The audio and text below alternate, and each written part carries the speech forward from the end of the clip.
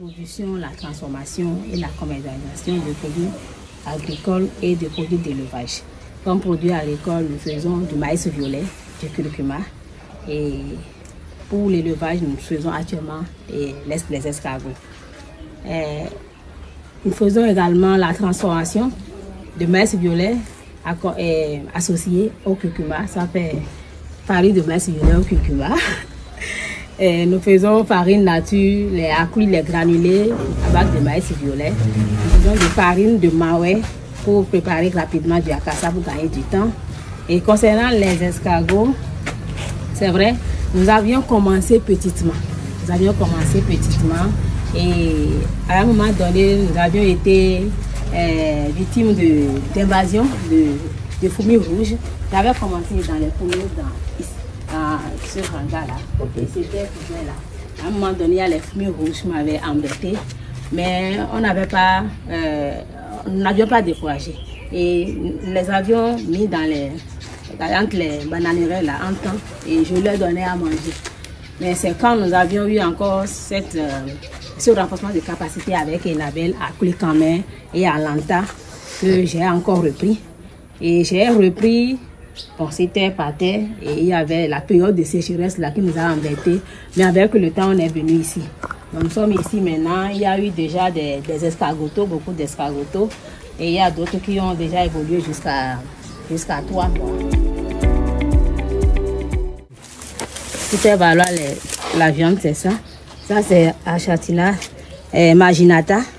C'est vraiment consistant, quoi. Ça, c'est oui. Et ça, c'est Akatina, Akatina. Ça aussi, c'est vraiment chanu. Et ça, c'est pour la bave. Ça, c'est Folica. Nous avons constaté également que euh, qu'il y a la demande de la bave.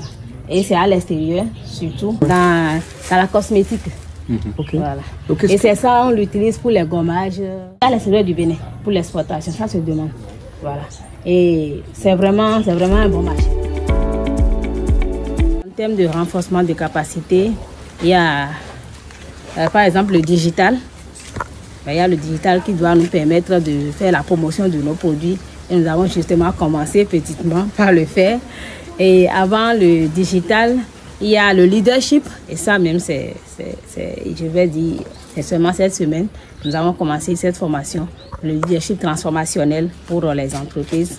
Au niveau escargot, c'est d'abord la formation que j'ai, ce renforcement de capacité que j'ai eu à Clecamin. C'est ça qui m'a permis de faire ce dispositif-là. Parce que j'ai mis du, euh, de l'huile, euh, qu'on appelle, l'huile à moteur. Oui, de l'huile de vidange. Voilà, de l'huile de vidange, c'est ça que j'ai mis ici pour empêcher les fourmis de monter. C'est dit que si j'avais eu ça au début, les autres ne seraient pas morts. Voilà. Donc, euh, c'est à travers cette formation-là également que j'ai pris la conscience qu'il faut faire des fermetures pour faciliter euh, le service des, des sujets. Voilà. Et avec Enabel également, la promotion de l'illécité que Enabel fait, euh, sincèrement là, actuellement, nous avons d'ambition pour même aller au cluster. D'abord, c'est la visibilité. C'est la visibilité parce que à travers euh, la transformation de, de- des escargots, voilà, j'ai fait, j'ai animé des, expositions, des fois, que ça soit à Lokosa ici lors de la gire et à, euh, également, à, Grand Popo la dernière fois, j'ai fait des brochettes d'escargots euh, associées à Cassa Violet, à Com Violet. Les gens, les gens ont vraiment apprécié. Voilà. Donc ça fait en même temps, euh, j'ai en combinaison des deux, quoi. De la production agroécologique associée euh, à la consommation des escargots. En chiffre d'affaires, en chiffre d'affaires côté escargot, côté escargot, là je peux dire qu'on a évolué de, de 25 000, de 25 000 à environ 100 000.